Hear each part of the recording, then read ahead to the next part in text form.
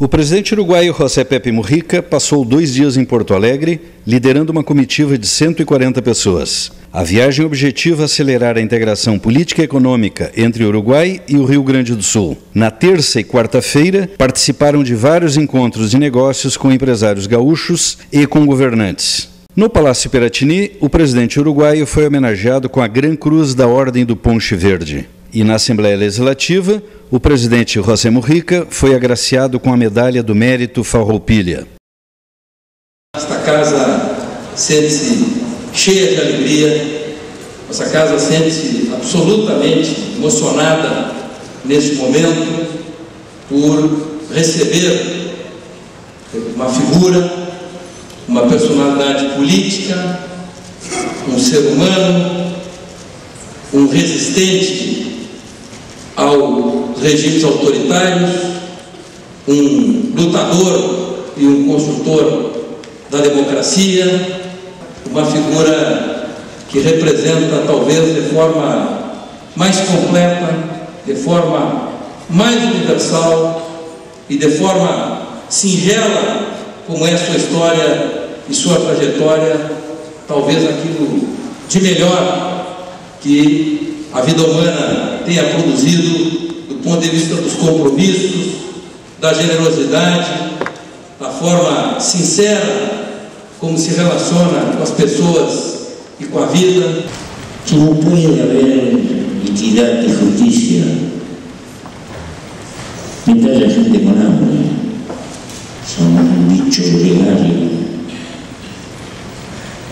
Necesitamos a sociedade.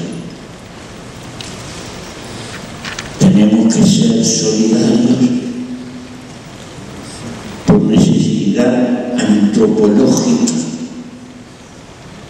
porque no sabemos vivir en soledad como los felinos. En este péndulo entre egoísmo natural y solidaridad natural, se construye la historia. Mueve la historia humana. Y somos un animal político, porque al ser gregario, nada más importante que la vida de la poli. Abrazo a mis compatriotas que han pasado parte de su existencia aquí, que tuvo muchos soñadores que regalaron acá en todas las épocas. Conozco el dolor de todos los exilios. O presidente Mujica defendeu a integração entre os países da América do Sul para mútuo fortalecimento político e econômico. Y que si no somos capaces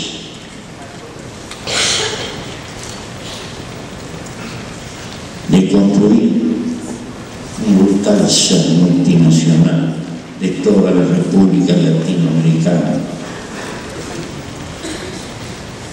la codicia entrará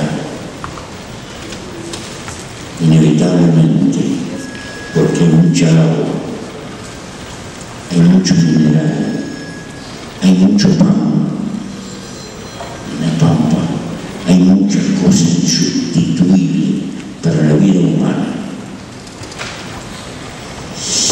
Y eso el patrimonio, junto con la inteligencia de nuestra gente, que tenemos que saber defender y multiplicar.